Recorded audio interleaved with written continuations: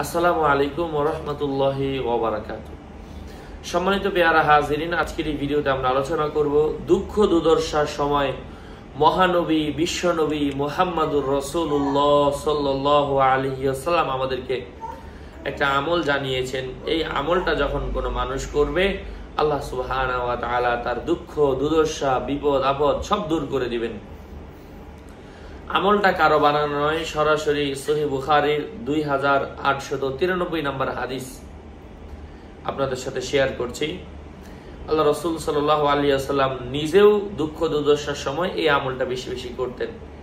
তার আগে ছোট্ট করে একটা কথা জানায় নেই।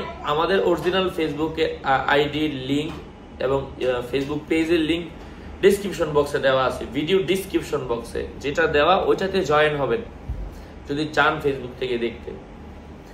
কিন্তু অনেকেই নানান মানুষ আমার ছবি ব্যবহার করে, আমাদের ভিডিওগুলো দিয়ে নানান মানুষকে একেবারে একই নাম ব্যবহার করে, একই ছবি দিয়ে মানুষকে প্রতারিত করছে, তাই সাবধান থাকতে হবে।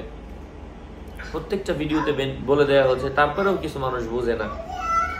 যাই হোক, সেই দোয়াটা হচ্ছে, আল্লাহুম্মা ইন্নি আউযু বিকা মিনাল হাম্মি ওয়াল হাজানি ওয়াল আজজি ওয়াল কাসালি, ওয়াল বুখলি, ওয়াল জুবনি, ওয়া ওয়া গলাবাতির রিজাল। এই দোয়া দুঃখ, দুর্দশা, বিপদ, অলসতা, কৃপণতা, কার্পণ্যতা সবকিছু দূর হবে এই ছোট্ট একটা আমলের মাধ্যমে। আমার সম্মানিত ভাই বন্ধুরা এই আমলটা অত্যন্ত সহজ। আল্লাহ রসুল নিজে করেছেন। মানুষের পীড়া থেকে, কষ্ট থেকেও বাঁচবেন এই আমল করলে। সকালবেলা এগারো বার, সন্ধ্যাবেলা এগারো বার। বিভিন্ন নিয়ম রয়েছে তার মধ্যে এটা একটা নিয়ম।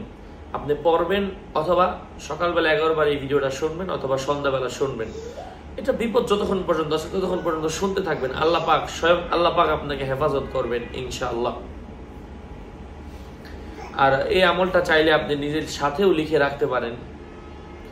হাদিসের বাণী, লিখে রাখতে অসুবিধা নাই। আপনারা যারা আরবি লিখতে পারেন অথবা যে কারও কাছে গিয়ে লিখে লিখে নিতে পারেন।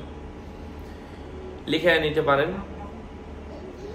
আর হচ্ছে এটা যদি লেখান, অবশ্যই মিশকা আম্বর, জাফরান দিয়ে লেখাবেন, যার বিজ্ঞাপন আমরা প্রায় সময় দিই। আমাদেরকে কিছু হাদিয়া দিয়েছে ওই লোক। Zero double nine two seven zero three nine double seven, ওনার সাথে যোগাযোগ করে আপনারা নিতে পারবেন। আপনারা আরবিতে অবশ্যই যারা পারেন, অবশ্যই কোরআন খুলে দেখেও লিখতে পারবেন। অথবা আপনারা আমি যেটা বললাম, এটা ইমাম সাহেবকে বললেই হুজুর লিখে দেবে, ইনশাআল্লাহ। আসসালামু আলাইকুম।